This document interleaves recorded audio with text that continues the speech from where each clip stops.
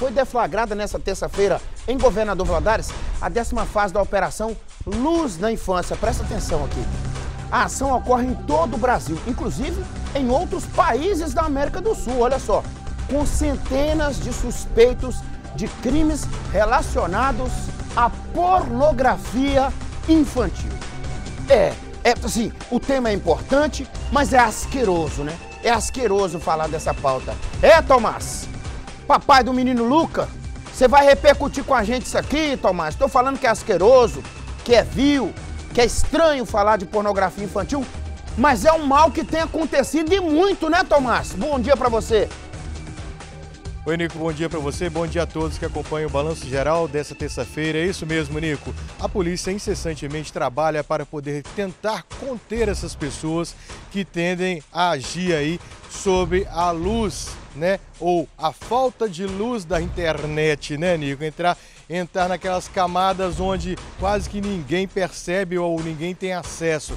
Mas não tem isso não. O Ministério da Justiça está batendo pesado contra esse tipo de crime e a décima fase da Operação Luz da Infância, que ocorreu aqui em Governador Valadares, ocorre, né? Começou na manhã de hoje, também acontece em todo o Brasil e alguns países da América do Sul, tá? Para poder tentar é, encontrar essas pessoas que baixam é, conteúdos proibidos, conteúdos que às vezes até envolvem né, criança e também o ato pornográfico. Segundo informações, um homem de 39 anos foi conduzido para a delegacia de Governador Valadares porque é, estava sob suspeita que ele tinha baixado um conteúdo pela internet e esse conteúdo tinha imagens impróprias, imagens de crianças mas a polícia apreendeu um computador e também um aparelho celular. Depois de ouvido, Nico, ele foi liberado porque não tinha essas imagens. Tinha sim conteúdos adultos, o que não é proibido, né?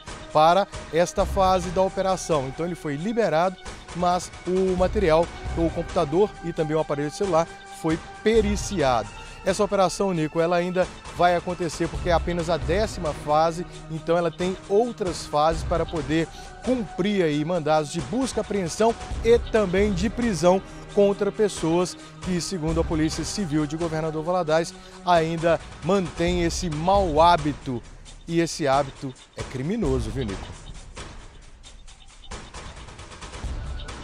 Ô, Nico, tem também uma sonora que nós ouvimos do delegado Leonardo Pinafo, que ele deu outros detalhes também sobre essa operação que teve início da manhã de hoje e ainda vai correr por, pelo longo dessa, ao longo dessa terça-feira. Vamos ouvir o delegado.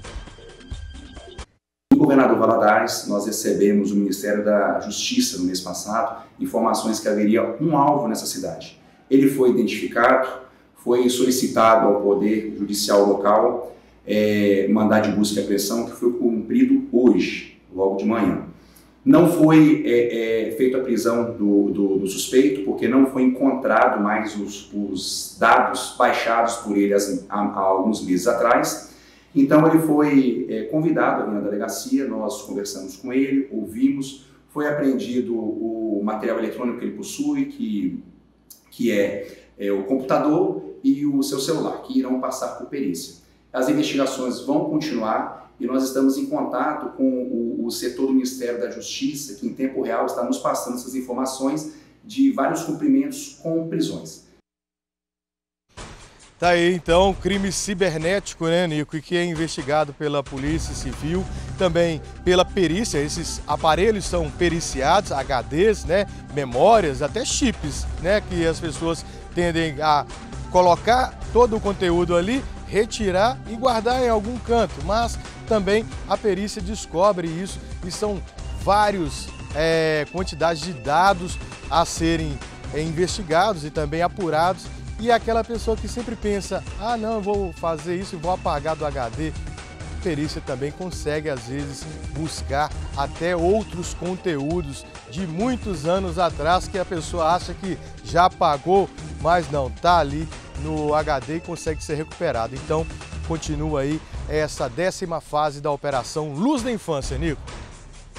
Aparelho celular, Tomás, que esteja queimado, a perícia consegue reativá-lo e recuperar coisas que servirão como prova né, na formação da culpa aí na fase do inquérito. Você está falando da décima fase da operação, significa então que estamos falando de desdobramentos, né?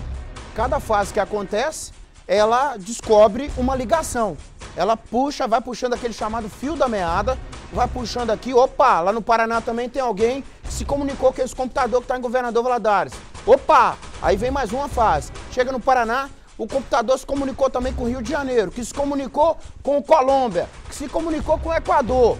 E aí a polícia vai fazendo desdobramento na medida é, da competência, vai acionando a Polícia Federal, vai acionando a Polícia Internacional e até a Interpol, né, na, na, na sua esfera de competência, para poder trazer aí essas pessoas a responder sobre isso.